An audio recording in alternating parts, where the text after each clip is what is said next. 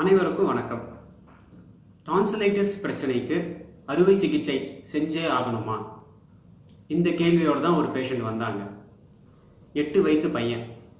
அவர் இருக்கிறது கனடா நாட்டில். அவருக்கு சிவியர் டான்சலைட்டிஸ். இந்த தொண்டையில் பார்த்தீங்கன்னா ரெண்டு பக்கமும் நல்ல வீக்கம். அடிக்கடி சளி காய்ச்சல் இருமல் இந்த தொண்டை வலி தலைவலி இப்படி வந்துட்டே இருக்கும். சரி வேறு வழியே இல்லை. ஆப்ரேஷன் தான் பண்ணி ஆகணும்னு சொல்லி முடிவு பண்ணிட்டாங்க. நடுவில் லீவில் இந்தியாவுக்கு வந்திருக்காங்க அவங்க சொந்த ஊருக்கு. அந்த நேரமாக பார்த்து கரோனா லாக்டவுன் திரும்ப உடனே அவங்களுக்கு கனடா போக முடியல. அதே நேரத்தில் இந்த தம்பிக்கு திரும்ப ரொம்ப அந்த சளி காய்ச்சல் தொண்டை வலிலாம் வந்துருச்சு. சரி அவங்க பேரண்ட்ஸும் வந்து சரி அங்கே தான் நம்ம நிறைய ஆன்டிபயோட்டிக்லாம் கொடுத்துட்டோம். இங்கேயும் திரும்ப எதுக்கு அதையே திரும்ப கொடுத்துக்கிட்டு ஆயுர்வேத சிகிச்சை கொஞ்சம் முயற்சி செஞ்சு பார்க்கலாமே அப்படின்னு சொல்லி வந்தாங்க. அவருக்கு ஆயுர்வேத மருந்துகள் எடுத்து ஒரு ரெண்டு வாரத்திலேயே நல்ல இம்ப்ரூவ்மெண்ட் அந்த முகத்தில் இந்த வீக்கமெல்லாம் நல்லா குறைய ஆரம்பிச்சிருச்சு. இந்த சளி தும்மல் காய்ச்சல் தொண்டை வலிலாமும் நல்லா அவருக்கு குறைஞ்சி வந்துடுச்சு. ஒரு மூன்று மாதம் சிகிச்சைக்கு பிறகு அந்த தொண்டையில் அந்த டான்சில் கட்டி வீக்கம் கூட நல்லா குறைஞ்சிடுச்சு அவருக்கு முன்னெல்லாம் நைட்டில் வந்து தூங்கும்போது அடிக்கடி அந்த குரட்டை சத்தம் ரொம்ப நிறைய வரும். தூக்கத்தில் வந்து அந்த சுவாச அடைப்புனால டக்கு டக்குன்னு முடிச்சுக்குவாங்க நல்லா ஒரு ஆழ்ந்த உறக்கமே இருக்காது. இப்போ பார்த்தா அந்த குரட்டை சத்தமும் நல்லா குறைஞ்சி வந்துடுச்சு அந்த தூக்கத்தையும் ரொம்ப தூக்கம் கெடுறதும் இப்போ பெருசாக இல்லை. அந்த தம்பியோட பேரண்ட்ஸும் சொல்கிறாங்க முன்னெல்லாம் ஒரு மாதத்துக்கு ரெண்டு தடவையாவது இந்த சளி தொண்டை வலி காய்ச்சல் எல்லாம் வந்துடும் இப்போ வந்து அவருக்கு இப்போது கடந்த மூன்று மாதமாக சளி காய்ச்சல் தொண்டை வலி எதுவுமே இல்லை. ரொம்ப நல்லா இருக்காரு. இப்போ அவங்க திரும்ப கனடா நாட்டுக்கே போயிட்டாங்க. சரி இப்போ வலி வீக்கம்லாம் குறைஞ்சிட்டதுனால இப்போதைக்கு சர்ஜரி வேண்டாம்னு சொல்லி அறுவை சிகிச்சையும் அவங்க இப்போ தள்ளி வச்சுட்டாங்க நிறுத்திட்டாங்க. இதுதாங்க ஆயுர்வேத மருத்துவத்தோட சிறப்பு அம்சம். அதாவது ஆயுர்வேத மருந்துகள் உங்களுடைய நோய் எதிர்ப்பு சக்தியும் அதிகரிக்கும். அதே நேரத்தில் அந்த டான்சில் அந்த கட்டி அந்த வலி வீக்கத்தையும் குறைக்கும்.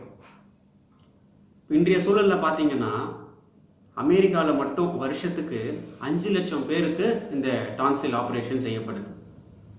யூரோப்பில் பார்த்தீங்கன்னா ஒரு வருஷத்துக்கு கிட்டத்தட்ட நாலு லட்சம் பேருக்கு டான்சில் ஆப்ரேஷன் செஞ்சுட்டு வராங்க. அப்படி சின்ன வயசில் இது மாதிரி டான்சில் ஆப்ரேஷன் செஞ்சவங்களுக்கு தங்களுடைய பிற்காலத்தில் இந்த சுவாச மண்டலம் சம்பந்தப்பட்ட அதாவது ரெஸ்பிரேட்டரி இன்ஃபெக்ஷன்ஸ் அண்டு அலர்ஜி தொந்தரவுகள் வரத்துக்கான வாய்ப்புகள் மூன்று மடங்கு அதிகமாகுது அப்படின்னு ஆஸ்திரேலியா அண்டு டென்மார்க் நாட்டில் நடந்த ஆராய்ச்சிகள் மூலமாக கண்டுபிடிக்கப்பட்டிருக்கு.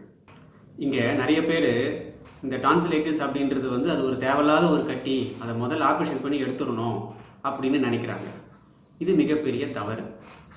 நம்ம டான்சில் அப்படின்றது வந்து நம்ம தொண்டை பகுதியில் நான்கு வகையாக இருக்குது அதனுடைய செயல்பாடு நம்ம சுவாசிக்கிற காற்று அதே போல் சாப்பிடக்கூடிய உணவில் இருக்கக்கூடிய வெவ்வேறு வகையான பாக்டீரியா வைரஸ் அல்லது நச்சுப் பொருட்களை வந்து தொண்டை பகுதியிலேயே தடுத்து நிறுத்தி அதை வந்து அழிக்கக்கூடிய தன்மை இருக்குது அதாவது ஒரு வீட்டுக்கு ஒரு செக்யூரிட்டி கேட் எந்த அளவுக்கு முக்கியமோ அது மாதிரி தான் நம்ம உடலுக்கு இந்த தொண்டை பகுதியில் இருக்கக்கூடிய அந்த டான்சில் கிளான்ஸ் ஒரு செக்யூரிட்டி கேட் மாதிரி செயல்படுது.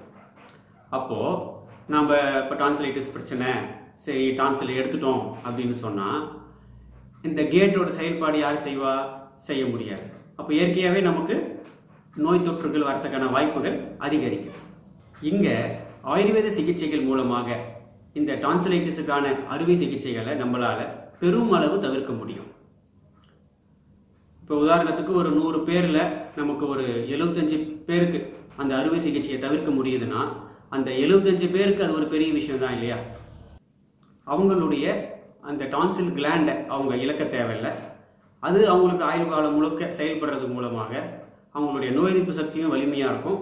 அதன் மூலமாக பல தொற்று நோய்கள்லேருந்தும் அவங்க தங்களை பாதுகாத்துக்க முடியும். இப்போ ஆரம்ப ஸ்டேஜ் அப்படின்னா தினந்தோறும் அஞ்சு துளசி இலை காலையில் மாலையில் அப்படியே மென்று சாப்பிட்டுக்கலாம்.